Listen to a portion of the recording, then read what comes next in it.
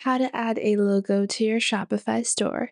Hello everyone and welcome back. In today's video, I'll be showing you guys how you can add a logo to your Shopify store so that it can be added by default into any space that requires your logo. So to do this, simply head on over to your Shopify store and click on online store on the left. Once you do that, you're going to click on your customize option for your Shopify store theme. Once you click on customize over here, you're going to see a panel on the left. So on the leftmost side, you will see this gear icon, which is the theme settings icon. So you just want to click on this. And once you do, click on logo. Once you click on logo, click on select. Once you click on select, you will see any images that you've already uploaded. But if you haven't uploaded your logo, just click on add images and then upload the image of your logo. So I'm just uploading my logo like so. Once I've done that, I can select my logo and then click on done. Now, in any space where my logo was supposed to be present, it's going to be added by default. So on all of my product pages, on all of the pages, my logo is going to show up. Now, additionally, you will see the icon of a favicon. A favicon is the icon that appears on the top left whenever you have multiple tabs open. So if you have a favicon, you can click on select and select your favicon over here as well. Usually a favicon is a simplified version of your logo because your logo is not going to be readable in its full form. It's only going to show up as a tiny little image. So usually just take like the initials of your logo or the basic logo design and just make a smaller version or a simplified version with simpler shapes. Once completed, click on save. And once we click on save, if I click on exit and go back into my online store, and open up my online store here. My logo is here. If I open up the catalog page, my logo is here. If I open up my product page, my logo is here. Now, there is one more space that you actually should add your logo to, and that is your checkout page. So you can do that by going into Customize. And once you go into Customize, click on Homepage on the top once you do that, click on checkout and customer accounts. Once you click on checkout, you will see on the left my logo has been added. However, sometimes your logo may not be added by default, so you just want to select your logo over here and then click on save and now my logo is going to appear on the top of my checkout page as well.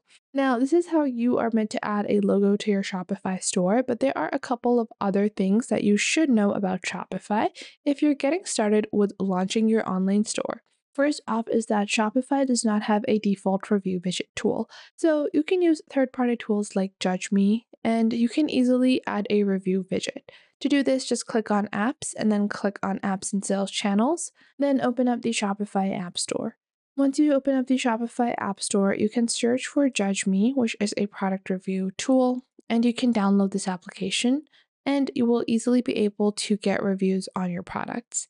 Now, another really important thing whenever people are adding products on their Shopify store is that you don't have to manually add products if you already have a CSV file. So, if you already have a CSV file but you're uncertain that maybe it's not going to be imported properly, you can take a few simple steps to ensure easy imports from any other platform. Just click on import and click on download sample CSV.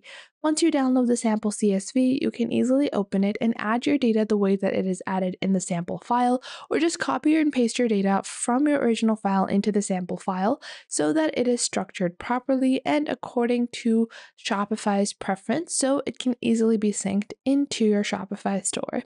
The third thing that you need to do is create your favicon and logo. So we've uploaded our logo, but sometimes a lot of people they don't realize they are not creating proper logos or proper favicons. So for this, I'm going to go into Canva and I'm going to search for logo and you will see there are several different logos. Currently, my brand name is Spencer and this is my logo. It's a pretty blank logo, so I'm to get started. And I'm to click on create blank logo and we're to get started from scratch. Canva also has several amazing free templates for you to use. Now, you will see different styles, different types, and I am actually going to go into templates and search for clothing or makeup. Let's say this is a makeup store called Spencer. So I want to get some ideas of makeup based logos. And I think usually with this, a good font and a nice illustration is going to work well. So for that, what I'm going to do is I'm going to search for lipstick and I'm going to go into graphics I'm going to search for a nice simple illustration that is going to work well with our brand. And we're just going to search for it. And this is a really nice illustration of like a lipstick swatch. And then I'm just to take a simple bullet lipstick or simple lip tint like this one. Yeah. And once I've done that, I'm to resize that, place it at the center, and then I'm to go into text, add a text box, and I'm to write Spencer. And now we're going to resize and restyle our font. So I'm to go and I'm to search for luxury fonts from the top left. Once I do that, I have several different fonts that we can choose from and you want to choose something that looks professional but still is recognizable. It still differentiates you a little. So I think I want to go with the Boston Angel one. I think it looks really nice. And I'm going to resize it and obviously we're going to increase the size a little. And then I'm going to layer this to the front and I'm going to restructure this. So you guys are going to see how we're going to be placing this. I'm going to resize it to be pretty large. Now, this is an illustration where I want it to be at the back of the center part, but it still should be pretty visible, okay? So you can either just click on this, click on there, send backward if you want it completely backward, but if I want it to be somewhat on the front, so I want it to encapsulate some of the text, what I'm going to do is I'm going to do Command C and then Command V, take the original lipstick, okay, the original one, and then place it where I want it to be behind. Then I'm going to layer this on top like so and then crop it to the point where it was behind like this. You guys can see it's actually eating up the E. So you can actually stylize this in a different way as well. This is up to you, but you can make this look really interesting. I can make it actually fill out any eyes if you have any eyes or any other alphabet. You can just make it look really nice and interesting.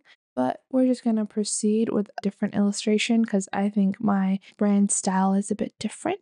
So we're going to go with a bullet lipstick instead, something along the lines of this. And once I've done that, I can click on share, click on download, and then download this as a PNG and even remove the background by clicking on transparent background. Now to convert this into a favicon, you're going to simplify your design because favicons are tiny and you really can't see the entire thing. So I would just change it to remove some of the additional text, leave the S and then leave the bullet lipstick because it's going to be visually a cue that it matches, you know, your brand name. So like this, I would just restructure it, take one letter from my original brand name and now we have the favicon version, which we can now upload on Shopify. I hope you guys found this video helpful. If you did, make sure to leave a like and subscribe.